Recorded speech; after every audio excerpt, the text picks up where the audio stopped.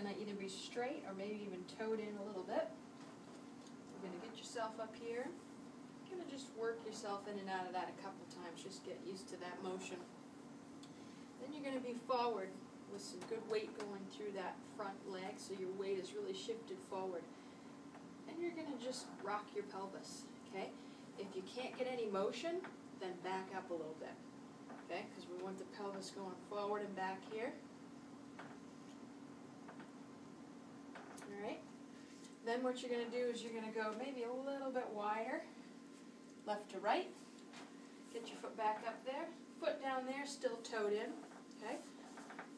You're gonna be a little bit forward, and what we're looking for here is your pelvis to drop on one side and drop on the other. So we're not really shifting the pelvis side to side, we're really trying to drop one side, drop the other. Drop one, drop the other. You're gonna keep your weight forward. You're gonna rotate your hips right and left. Okay? Then maybe do a couple circles. And the other way. And then switch feet.